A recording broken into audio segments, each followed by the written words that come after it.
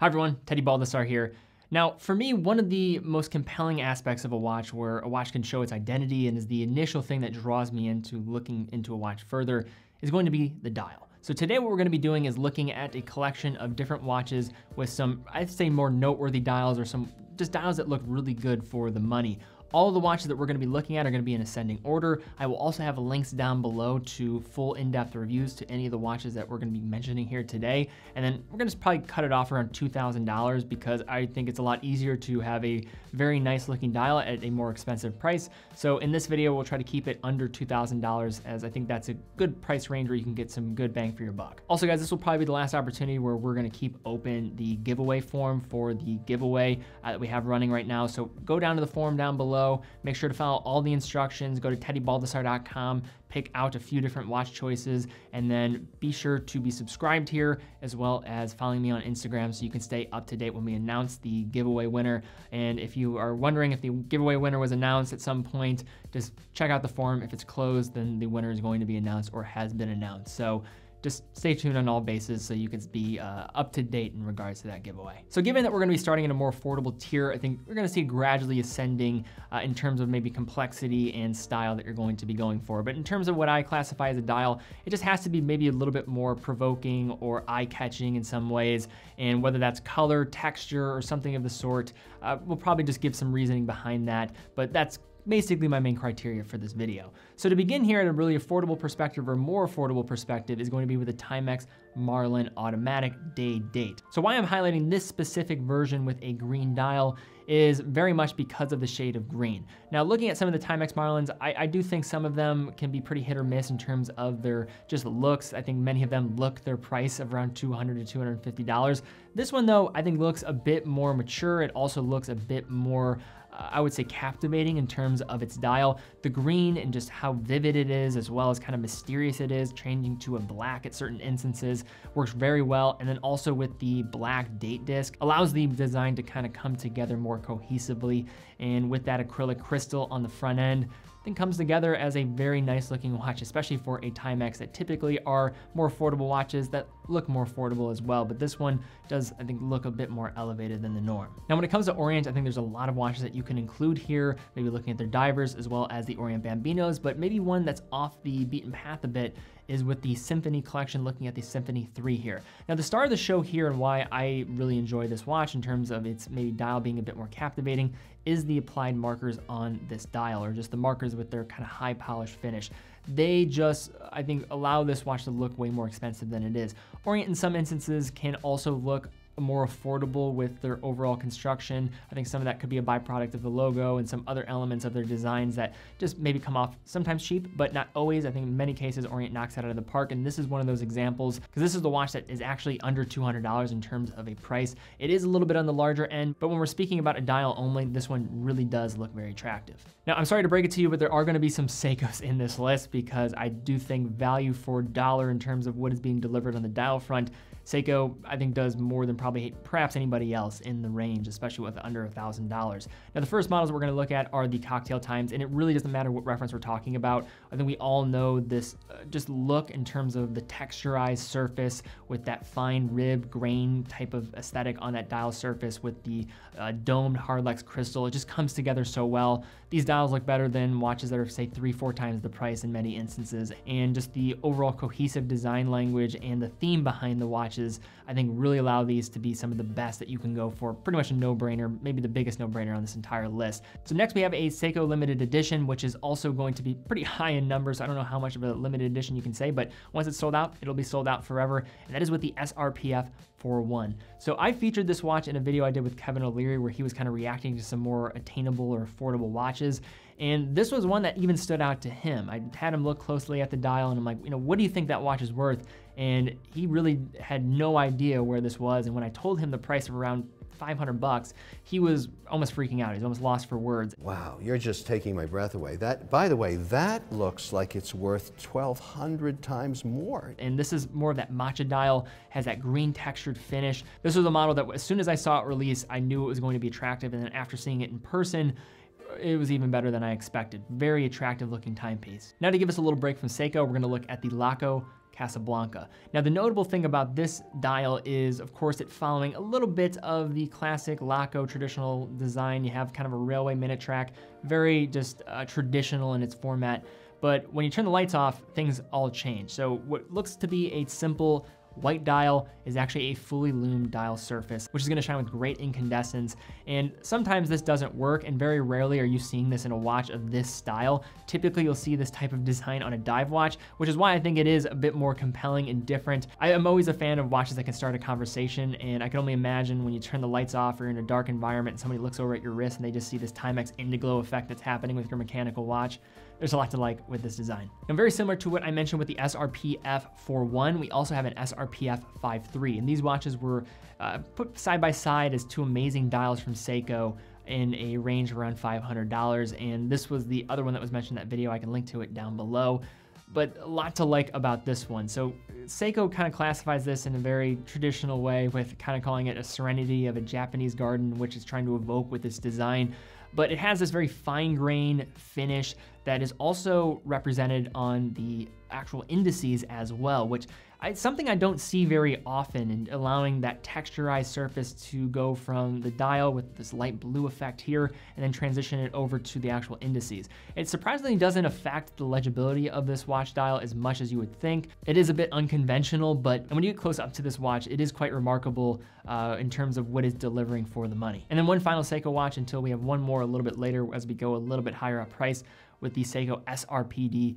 09. So this is a watch that has a Save the Ocean-esque style dial. The blue is incredibly eye-catching. That gradient effect is also going to kind of tease the eye in many ways. It has a slight shimmer and glossy nature in terms of its dial surface finish. And just that blue and black combination, I think just works very well. You're getting a few different shades of blue, uh, working from a very light blue, dark blue, and then shading into, of course, the black that you'll also see on the dial surface as well. Now moving over to Bulova, going to look at the Bulova Fly Me to the Moon Frank Sinatra edition. So very similar to what was being described with the cocktail time is the same here. We have applied markers on this dial as well to just kind of add to the dial surface and some more texture to it. Now the rib finishing on this one I find is a bit more uh, prominent and also a bit easier to distinguish than the cocktail time. The cocktail time is a bit finer with its approach, but very similar types of texture effect that's taking place here. Now talking about this watch in general outside of the dial, that's really the main thing going for it. It does have a Miyota 8000 series caliber, so in terms of value for money, not as probably great in terms of looking at the cocktail times, but from a dial alone, also if somebody's a say a Frank Sinatra lover, I think this one, of course, is going to be right in the running in terms of a really well done dial. Right, so now I want to look at the Zelos Nova, and I'm going to be quite frank, this could be one of the best looking dials you're going to find under a thousand bucks, and it is just quite captivating. You have this aventurine dial that is almost like a galaxy effect with its kind of starry and just sparkling nature, which does come off maybe a bit more ostentation that some might like, but with this more dress-oriented design, it does, I think, work in its overall execution. And this is a style that Lange, of course, is very well known for with their Saxonia. In no ways am I comparing the Zelos to uh, a Lange as it's totally different galaxies, but the Zelos and what it's able to do at this price range is impressive. Now next up we have the Doxa Sub 200. So these are just south of $1,000 and many people that are of course familiar with Doxa understand their really fun use of color and what they're doing. So the original use behind this was because of actual use in diving situations and how legible the dials were. Orange in their test was found to be actually the most effective in reading the time underneath the water. So there is purpose behind this, but that doesn't mean that it can't be enjoyed in many different contexts. So we've done a review on the Sub 200 in the past. We did not review the orange dial one, which is of course the professional most popular, but quite a bit of different options to choose from. Yellows, uh, light blue, more conventional options but they're black. But if we're talking about having the most fun with the dial, the orange professional as well as the yellow are probably gonna be the two most eye-catching and most fun. Now next we're gonna look at the Tissot Ballade. So just around $1,000, getting a chronometer, uh, movement inside of here, but also very attractive bezel. So you kind of have this knurling style dial surface as well as outer bezel, which kind of in the same way that I talked about the SRPF uh, 5.3, same kind of effect is happening here, kind of mirroring finishes on two different aspects of the watch itself, and it works very well. The level of finishing on this, I find compared to some of the more entry-level Tissot's, is very well done.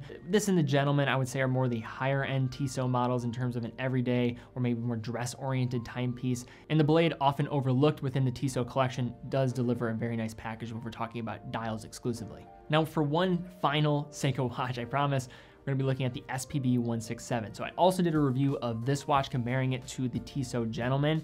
And when you put both of those watches underneath the macro, this one did really shine. And you know how much I love the Tissot Gentleman, but this one really did look the part in regards to how it has this more kind of waffle uh, texturized surface on the dial.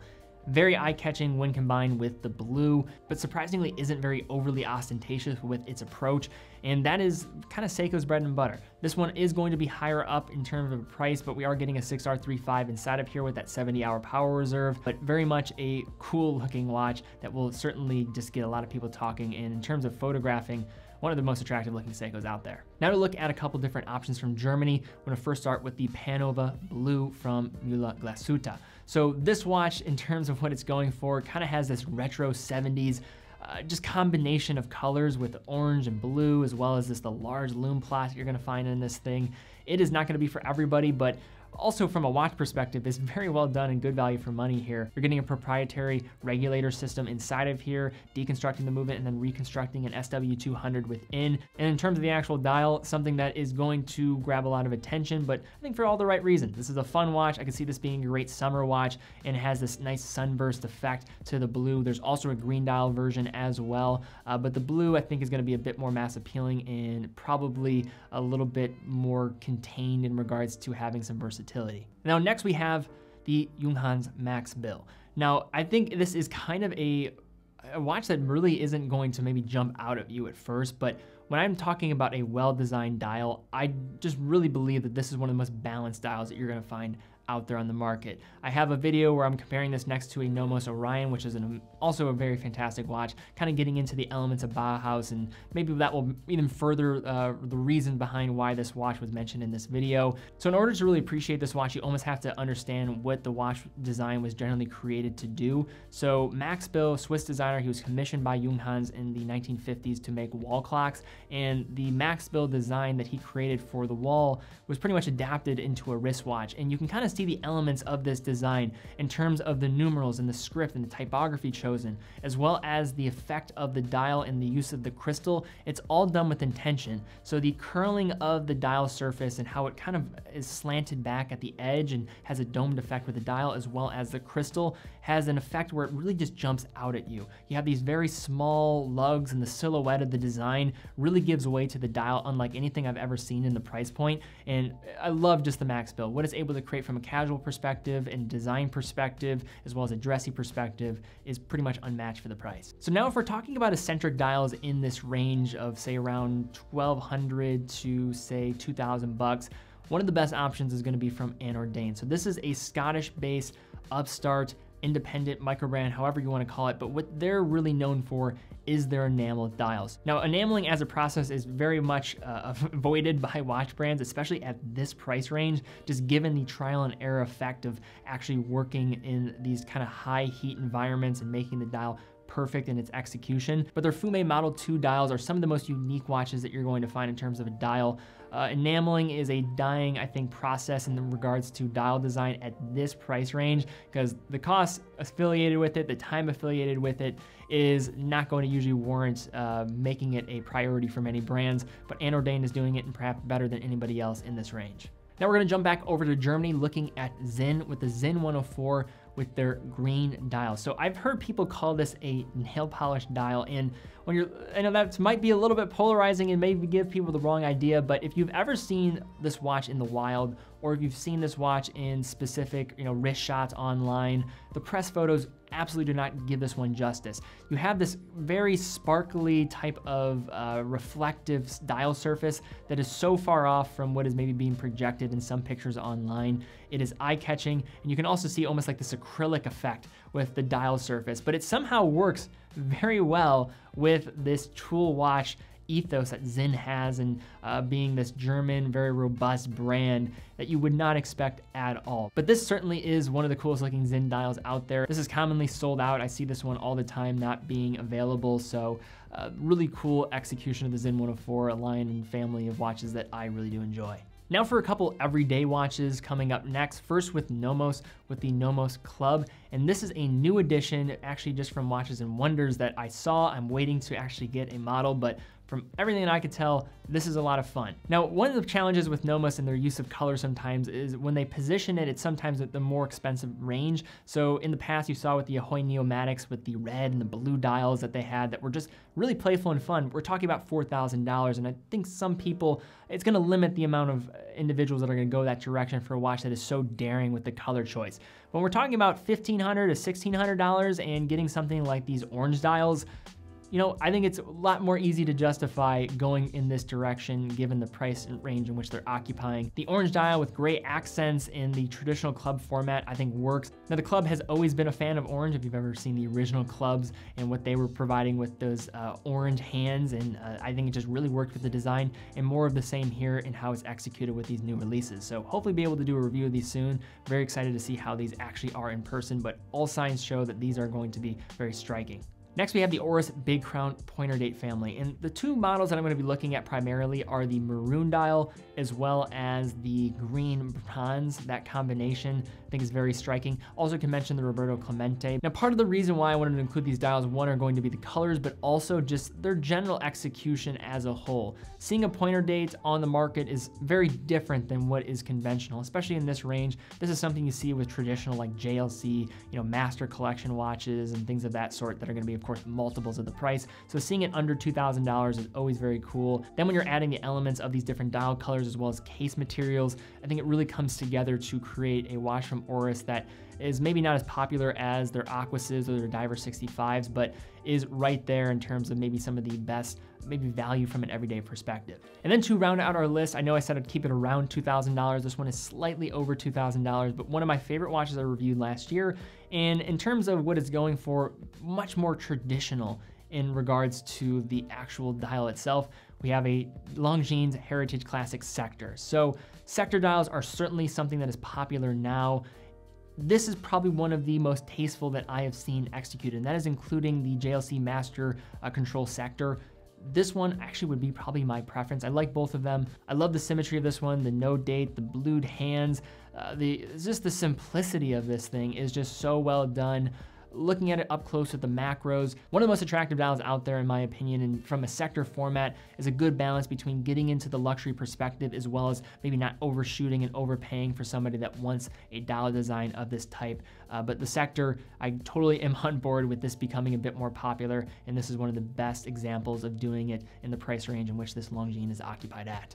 But all right, guys, that is my list of some of the best dials that you can find up to $2,000. I wasn't able to include all of the watches that I probably wanted to include. I had to make some compromises, but uh, tried my best, and of course, would love to see comments down below. What other dials would you mention in this price range? I am a huge dial fanatic. That's really what pulls me in when looking at a watch. I can always forgive a lot of other elements to a watch. As long as the movement is reliable, I can deal with that. But if a dial is not to my liking, I can't make it work. I am sorry. So love to see comments down below. Also, definitely take advantage of that giveaway. Check out the form in the description. Make sure to follow all the instructions. Head over to teddybaldassarre.com, pick a few different options, and good luck to all of those that entered. I think we're probably around 20,000 entries now. So just keep entering.